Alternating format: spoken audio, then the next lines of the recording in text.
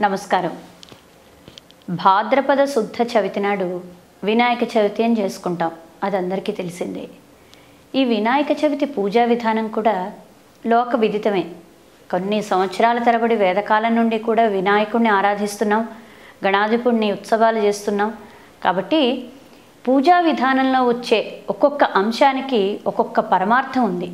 అసలు ఈ వినాయక చవితి పర్వదినం అంటేనే ఎన్నో రహస్యాల మేళవింపు.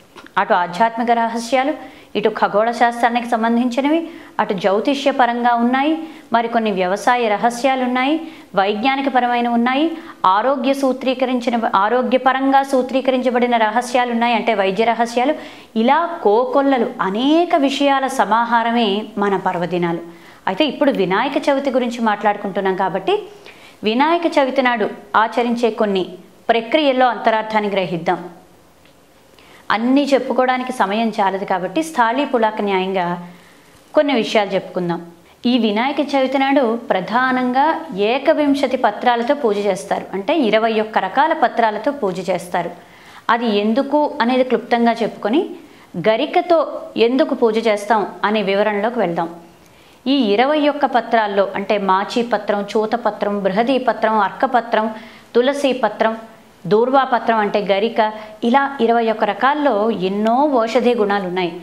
అన్నీ కూడా దాదాపుగా చర్మ వ్యాధులకి సంబంధించినవి తర్వాత ఊపిరితిత్తులకు సంబంధించిన వ్యాధులను నివారించే ఔషధీ గుణాలు ఉన్నవి. ఉదాహరణకి కొన్ని రకాల పత్రాలు తీసుకున్నారనుకోండి. అందులో దద్దుర్లు నివారించే ఉన్నాయి. తర్వాత ఉబ్బస వ్యాధి నివారించే ఉన్నాయి. దగ్గు. తర్వాత ఈ పాదాలకి ఈ కాలంలో ముఖ్యంగా శ్రావణ భాద్రపదాలు వర్ష ఋతువు అంటారు కదా. ఇప్పుడంటే మనకు వర్షాలు పడడం లేదు. అధర్మం ఎక్కువైపోయి మామూలుగా అయితే శ్రావణ భాద్రపదాల్లో విపరీతమైన వర్షాలు.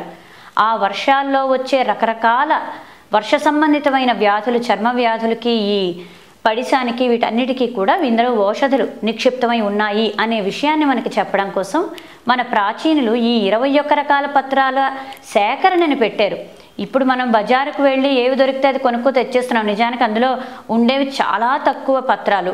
ఇరవై ఒక్క పత్రాల్లోకి పది ఉంటే చాలా గొప్ప విషయం.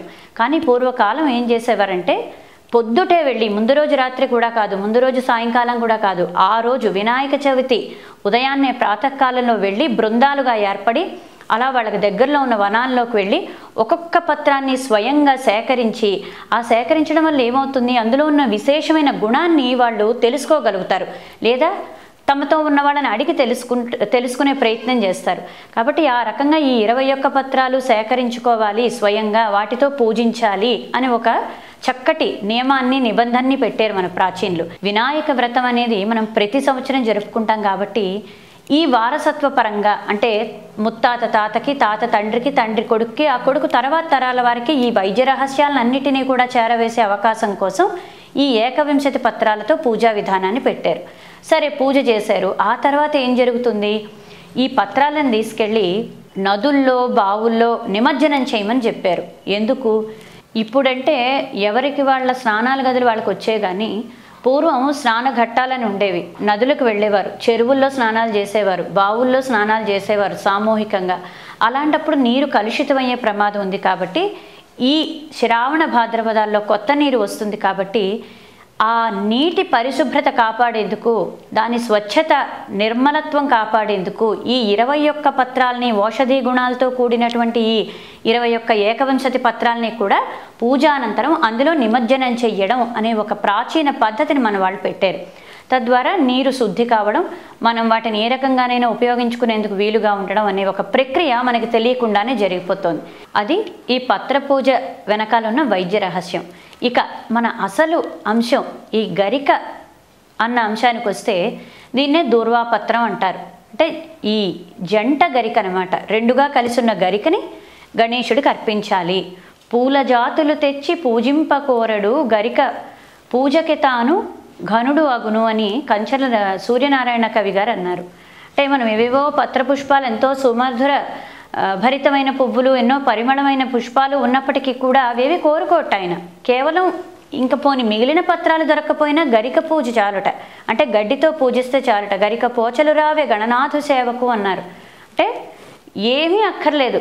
గరిక అనేది ఒక్క అర్పిస్తే ఆయన ఎన్నో వరప్రదానం చేస్తాట విద్యని ప్రసాదిస్తాట విఘ్నాల్ని తొలగిస్తాట సంపదలు కలిగిస్తా కలిగిస్తాడట పాండిత్యాన్ని ప్రసాదిస్తాట మంచి వాక్ పటిమని అనుగ్రహిస్తాట.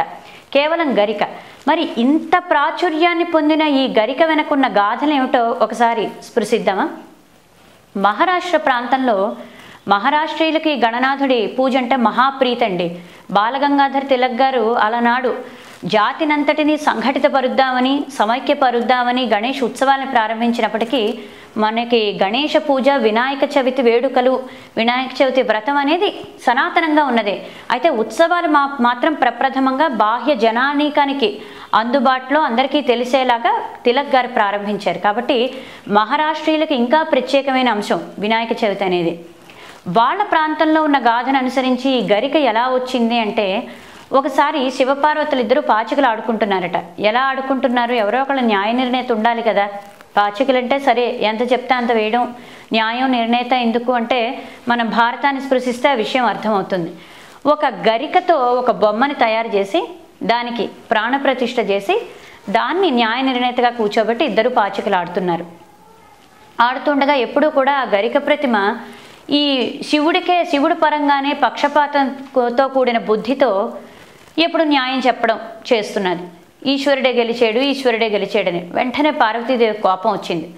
తన పట్ల జయం ఉన్నప్పటికీ కూడా ఆ గరిక ఒక హేళనతో వెటకారంతో అలా శివుడి పక్షంగా మాట్లాడడం ఆవిడికి ఆగ్రహానికి కారణమైంది. నువ్వు కుంటివాడివి కావాలి అనే శాపాన్ని ప్రసాదించింది. ఆవిడ అమ్మవారు జగన్మాత వరప్రదానమైనా చేయగలదు శాపాన్నైనా ప్రసాదించగలదు. అది కూడా ప్రసాదమే. అయితే వెంటనే ఈ గరిక బొమ్మ ఏదైతే ప్రాణం పోసుకుందో అన్నదిట నేనేదో కురతనం కొద్దీ అలా చేశాను అంత మాత్రానికే ఇలాంటి శాపం ఇవ్వాలా? దీనికి ఎలా ఉపశమనమో చెప్పు తల్లి అంటే అయితే మరికొద్ది రోజుల్లో భాద్రపద శుద్ధ చవితి నాడు ఇక్కడికి వచ్చి నాగకన్యలు విఘ్నేశ పూజ చేస్తారు. ఆ పూజ విధానం తెలుసుకొని వారి నుండి ఉపదేశం పొంది నువ్వు కూడా గణేష పూజ చెయ్యి. తద్వారా నీకు శాప విమోచనం కలుగుతుంది అని ఆవిడ ఉపదేశించింది. వెంటనే ఈ గరికతో చేయబడ్డ ప్రాణం పోసుకున్న ఈ ఈ గరికతో చేయ ప్రతిష్ఠ చేయబడ్డ అతడు కాస్త ఆ నాగకన్యల కోసం ఎదురు చూసి విఘ్నేశ్వరి ఆరాధన చేసి తనని తానే అర్పించుకొని ఆత్మార్పణం చేసుకొని కుంటితనాన్ని పోగొట్టుకొని తిరిగి ప్రాణాన్ని పొంది మంచి స్థాయిలో ఉన్నాడు. అప్పటి నుంచి కూడా విఘ్నేశ్వరుడికి గరిక పూజలంటే మహాప్రీతికరమైన అయిపోయాయి. కాబట్టి అప్పటి నుంచి వినాయక చవితిలో ఏ పత్రం దొరికినా దొరక్కపోయినా ఈ దూర్వాపత్రంతో ఈ జంట గరికతో పూజ చెయ్యాలి అనేది ఒక నియమంగా ఆచారంగా వ్యవహారంలోకి వచ్చింది ఇక తమిళనాట అంటే దక్షిణంలో ఉన్న కథ ఏమిటి అంటే యమధర్మరాజుకి అగ్ని రూపంలో ఒక పుత్రుడు జన్మించాడట. అతడు దేవదానవులందరినీ కూడా ఇష్టానుసారంగా బాధించడం ప్రారంభించాడు. ఎవరన్నా కూడా విచక్షణ లేకుండా ఎలాంటి పక్షపాతం లేకుండా. అలా వాళ్ళందరినీ బాధిస్తూ ఈ అనలాసురుడు ఏం చేశాడంటే స్వర్గలోకం మీద కూడా దండెత్తాడు. అందరినీ జయించుకుంటూ వెళ్తే వీళ్ళందరూ కూడా అతని బాధ పడలేక పరమేశ్వరుని ప్రార్థించారు. ఎలాగ నేను మేమంతా కూడా ఇతని బారి నుండి రక్షింపబడతాము అని వెంటనే పరమేశ్వరుడు గణపతిని సృష్టించాడు. గణపతిని సృష్టించి ఇతని వల్ల ఈ అనలాసుర వధ జరిగి మీరందరూ రక్షింపబడతారు అని చెప్పాడు. ఆ విధంగానే విఘ్నేశ్వరుడు అవతరించి అనలాసురుణ్ణి అంటే అగ్ని రూపంలో ఉన్న అసురుణ్ణి రాక్షసుణ్ణి సంహరించాడు. అయితే ఎలా సంహరించాడు? ఆ అగ్నిని కూడా ఒక గోళంలా ఒక బంతిలా తయారు చేసి తాను దాన్ని లోపలికి స్వీకరించాడు. తన తండ్రి కాలకూట విషాన్ని కంఠంలో దాచుకుంటే ఈ వినాయకుడు మాత్రం ఈ అగ్నిని ఒక గోళ రూపంలో తన ఉదరంలో దాచుకున్నాడు. అగ్నిని లోపల దాచుకోవడం అంటే సామాన్యమైన విషయమా? వెంటనే విపరీతమైన తాపానికి గురయ్యాడు. ఏం చేసినా కూడా ఆ తాపం తల్ల చల్లారడం లేదు. ఈ దేవతలందరూ ఏం చేశారు? రకరకాల పుష్పాలతో చలువు చేసే పువ్వులన్నీ సేకరించుకొని మొత్తం వినాయకుడిని వాటితో కప్పేసి ఎన్నో ప్రయత్నాలు చేశారు. అమృతంతో అభిషేకం చేశారు. మంచు పర్వతం దగ్గరికి అతన్ని తీసుకెళ్ళారు రకరకాలుగా ప్రయత్నాలు చేసినా కూడా వినాయకుడు తాపం చల్లారలేదు. అప్పుడు వెంటనే ఈశ్వరుని అడిగారు అయ్యా ఎలాగా? దీనికి తరుణోపాయం ఏమిటి? ఏం చేస్తే విఘ్నేశ్వర తాపం చల్లారుతుంది? అంటే ఈశ్వరుడు చెప్పాడు మీరు ఒక్కొక్కరు కూడా ఈ దూర్వాయుగ్మంతో జంట గరికతో అతన్ని కప్పండి. వెంటనే దేవతలందరూ ఒక్కొక్కరే ఈ దూర్వాయుగ్మాన్ని తీసుకొచ్చి మొత్తం తల నుండి పాదాల వరకు కూడా విఘ్నేశ్వరుని ఆ గడ్డి పరకలతో కప్పేశారు. కప్పేశాక పూర్తిగా అతడి తాపం చల్లారిపోయింది. అప్పటి నుంచి విఘ్నేశ్వరుడికి ఈ గరిక అనేది మహాప్రీతికరంగా జనమంతా భావించి ఆ భాద్రపద శుద్ధ చవితి నాడు ప్రత్యేకంగా ఈ జంట గరికతో అతనికి పూజలు చేస్తారు. విఘ్నేశ్వర తాపం చల్లారింది అంటే మనం ఇక్కడ ఆలోచించి గ్రహించాల్సిన విషయం ఏమిటి అంటే ఆ దూర్వాయుగ్మంలో అంతటి ఓషధి గుణాలు నిక్షిప్తమై ఉన్నాయి అనేది మనం గ్రహించాలి. ముఖ్యంగా దేనికి అంటే ఇది రక్తస్రావాన్ని అరికడుతుంది డయేరియాని అంటే ఈ విరేచనాలని వాటిని ముఖ్యంగా శ్రావణ భాద్రపదాల్లో వచ్చే ఈ అకాలమైన విరేచనాలు అంటే కొన్ని విరేచనాలు ఏదో మనం సరిపడని ఆహారం స్వీకరించడం వల్ల వస్తాయి తీసుకోవడం వల్ల. కానీ ఈ కాలంలో వచ్చే మన ప్రమేయం పెద్దగా ఉండదు. అలాంటి వాటన్నిటినీ కూడా అరికట్టే గుణాలు ఈ దూర్వాయుగ్మంలో ఉన్నాయి. అంతేకాక కాకుండా శాస్త్రజ్ఞులు ఈ మధ్య కనుక్కున్న మరో విషయం ఏమిటంటే ఈ ఆవులకి వాటికి ఈ గడ్డిని మాత్రమే వేయడం వల్ల వాటిలో సంతాన ఉత్పత్తి తగ్గింది. అంటే ఒక సంతాన ఉత్పత్తి నిరోధకంగా కూడా ఈ గరిక అనేది పనిచేస్తుంది. ఇక్కడ మనం దాన్ని ఏ రకంగా పాజిటివ్గా తీసుకోవాలంటే ఈ రోజుల్లో సంతానం వద్దు అనుకుంటూ ఎన్నో విధానాలను అవలంబిస్తున్నారు. దాని వల్ల దుష్ఫలితాలు కూడా వస్తున్నాయి సత్ఫలితాలతో పాటు. కానీ ఈ గరికతో చేసిన మాత్రల వల్ల ఆయుర్వేద రీత్యా స్వీకరించినట్లయితే కేవలం వారు ఏది కోరుకుంటారో అదే జరిగి ఇతర దుష్ఫలితాలు అంటే సైడ్ ఎఫెక్ట్స్ ఉండకుండా ఆరోగ్యం రక్షింపబడుతుంది అనే విషయాన్ని మనం గ్రహించాలి. ఇదండి. కాబట్టి ఇన్ని విశేషమైన వైశిష్ట్యాలతో ఈ గరిక పూజ అనేది వినాయక పరంగా ప్రాచుర్యం పొందింది. నమస్కారం.